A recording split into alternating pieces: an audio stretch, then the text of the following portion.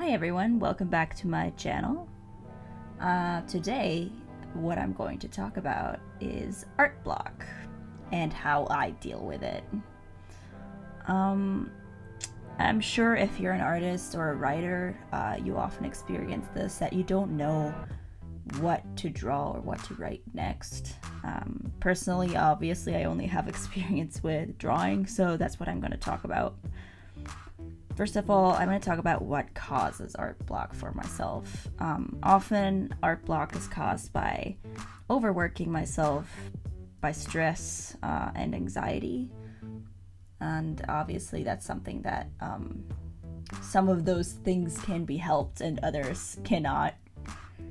But um, yeah, what definitely helps, first off, with art block is not overworking yourself and uh, I am very guilty of doing this. Uh, it's not very smart, but once you're in like the mindset of working, it's really hard to stop yourself sometimes. Um, but yeah, I'm working on that, and you should too if you find yourself guilty of doing that. Um, I want to talk about what I can do to help myself get out of an art block. Because usually when you're in an art block, you don't feel inspired, you don't really know what to draw, you don't, just nothing comes out the way that you wanted to. So I have a few notes on what I do when I have art block. Usually I listen to music, my favorite kinds of songs, lyrics that I like that inspire me, I watch other people draw, which always helps. Watching someone stream or watching speed paints that somebody else did because I often feel inspired when I see someone else draw because it makes me miss it. and then obviously resting. I know you probably don't want to hear this, but resting is a big part of recuperating from art block because you know, your brain kind of gets in this state where it just wants to work, and the less you manage to work, the more you'll rile yourself up about it. So just try and take a rest, take a day out, see friends, you know, play games, watch a movie, read a book, read fanfic if that's what you're into. Just do something that isn't drawing and that like keeps your brain off of drawing. What also helps me a lot um, when I have art block, because it's my job, it helps me to have that pressure. And even though that's not really healthy, it does help me because I know that I have to put out content. So I often just force myself to push through, but that's not always easy. So, what I suggest you do to kind of like, you know, give yourself room to breathe before art block even comes your way is whenever you have an idea, whenever you have something that um, comes to your mind, even if it's just like a stupid little meme idea, write it down. What I usually do is I write down my ideas in my um, notes on my phone.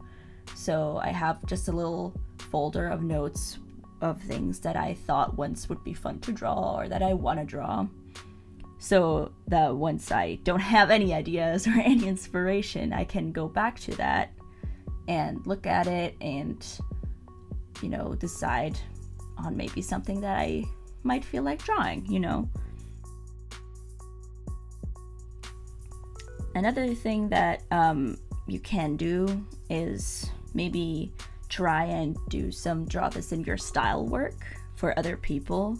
I think that's also something that because you don't have to really like think about what you want to draw yourself. You can just look at somebody else's artwork and try to transfer it into your style and your your work, you know? I think that could be definitely an asset when you have art block. Other than that, you could try doing studies. You could draw clothes or landscapes. You could just try to draw something that you've never drawn before and look at it with a clinical eye.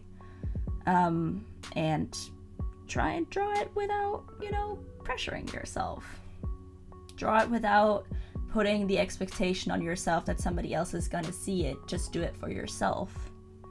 I think that's definitely good to do anyway, but you know, if you're wanting to post your work, just try and put less pressure on yourself to create something that is worthy of being seen, you know? Just, you know, let your hand loose, do whatever makes you happy.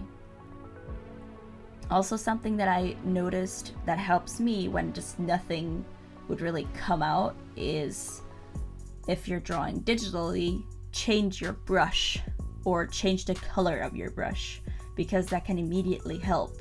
It's like for writers, uh, this is something that I hear a lot, is that when they don't know what to draw at all, they change their font to Comic Sans. And I know that a lot of writers have told me this.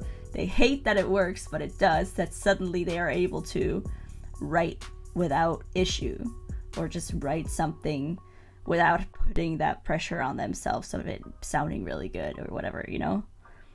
So try that. You can also try a different medium. You can try to draw something traditionally if that's what you don't usually do. You can try to draw with a pencil, you can try to draw with a ballpoint pen, try to draw with watercolors. Just do something that isn't what you usually do. Other ways of creativity are also something that you can do. For example, a few weeks ago or months ago, I started embroidery because I wanted to have a different outlet of creativity. And it definitely helped me because it was something that was creative without being drawing, you know? And another thing that you can do um, that I usually think about when I'm art blocked uh, is draw someone else's OCs. Maybe ask your friends. Be like, hey, do you have an original character you would like for me to draw? And I can tell you for sure that they will be like, yes, because everybody wants to see people draw their OCs. That's just the normal human response, I would think. And uh, maybe if that doesn't work for you, I'm sure you've got old pictures that you've drawn take one of those old pictures that is maybe a few years old and try to redraw that. Take a new spin on it. See if that does something for you. Because I think that can always, always having like something that is already done definitely helps you kind of like get over that hump of art block. Because you don't have to think about, oh, ah, it has to be very deep or whatever, you know? Because a lot of people that I know who have art block are trying to create these masterpieces that need to like everything needs to be amazing everything needs to be special and new and this crazy art piece you know? But a lot of art is just repetition and copying from you know from life and from your older self because that's how you grow right?